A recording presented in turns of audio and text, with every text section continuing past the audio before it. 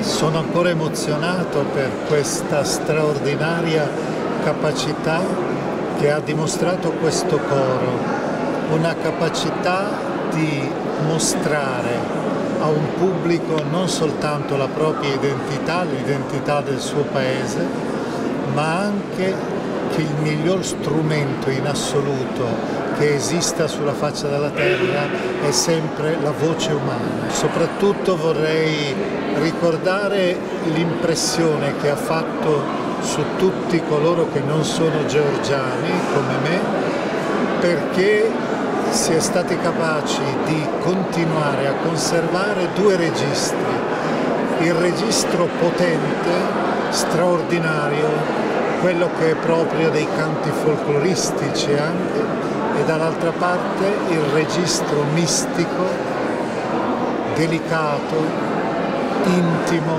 profondo che è quello della liturgia.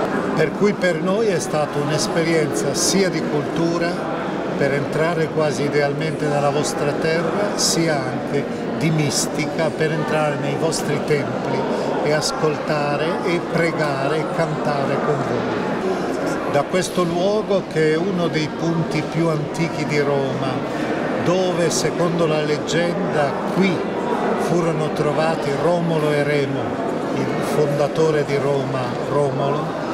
Vorrei fare un augurio in particolare al popolo georgiano nella sua grande solennità e l'augurio è questo, è semplicemente questo, che conservi sempre la sua identità come l'ha custodita attraverso i secoli con grande fatica, anche col sangue, anche con le lacrime, ma soprattutto con lo splendore della sua cultura e della sua spiritualità. მიჭირს რომ სიტყვებით გადმოგცეთ ის ემოცია რომელიც დამეუფლა კონცერტის მსვლელობაში. მე ვიტყოდი რომ დღევანდელი დღე არის ნათელი დადასტურება. ჩვენი ურთიერთობის ევროპასთან ჩვენი ურთიერთობის ვატიკანთან და ასევე მინდა ჩვენ ჩვენი ქვეყნის ყველა მოქალაქეს და ჩვენი ქვეყნის ყველა მეგობარს მიულოცო დამოუკიდებლობის დღე.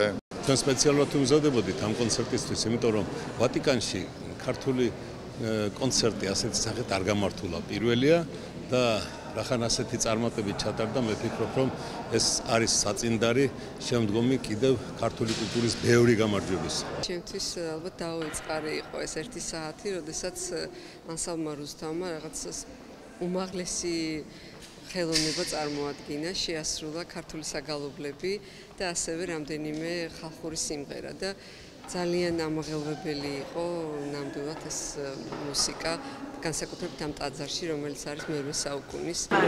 ეს იყო ამაღელვებელი ემოციურად ძალიან დამუხტული, ამაღელვებელი ძალიან ლამაზი საღამო. იმიტომ რომ იგრძნობოდა რა თქმა უნდა მაღალი პროფესიონალიზმი ანსამბლ რუსთავისა და მოვედროს ის სიყვარული და ის სიმები, რომელთაც ისინი დაკავშირებული არიან ჩვენს უძველეს კულტურასთან. რაც ყველაზე მნიშვნელოვანია, რომ ეს დიდად ლამაზი ღონისძიება, დიდად მნიშვნელოვანი ღონისძიება მოეწყო რომის ერთ-ერთ უძველეს ეკლესიაში და სადაც როგორც აქ დაამსწრე კარდინალმა ჯანფრანკო რავაზი მაგნიშნა ეს არის რომის კულტურის გული სხვადასხვა მოსაზრებების გამო. და სწორედ ის იყო მნიშვნელოვანი, რომ სწორედ ამ დაძარში გახმიანდა ჩვენი ძველი ქართული საგალობლები, არ მარტო საგალობლები, არამედ სხვა ტიპის ქართული ხალხური უძველესი მუსიკა და რასთავარია იყო ის, რომ ეს ემოციური მუხტი გადაედოთ არა მხოლოდ ქართული ფილოსოფიის, არამედ დამსწრე საზოგადოებასაც, რომლებიც ქართულ კულტურასთან, რომელიც ქართულ კულტურასთან სხვანაირად დაკავშირებული არ არის. და მე ვთვლი, რომ ეს იყო ერთ-ერთი ყველაზე ლამაზი საღამო რომში და ეს იყო ჩვენი ქართული კულტურის ერთი პატარა, მაგრამ მნიშვნელოვანი გამარჯვება.